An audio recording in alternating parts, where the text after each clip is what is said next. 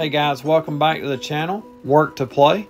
Today I'm going to be doing a demonstration on my Rippa R15-4 Eco on how the hydraulic quick attach works. This is a feature of the machine that speeds up production tremendously whenever you're having to switch between different attachments. What you're seeing here is I am taking off the bucket that came with the machine, the 16 inch bucket, and I'm fixing to attach an 8 inch trenching bucket. This video is meant to show how easy this is to do.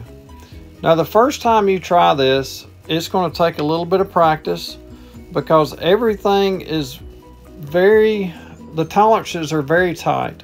So it just takes some practice doing that. I hope you enjoy. Please don't forget to like, comment, and subscribe. Thanks and have a great day.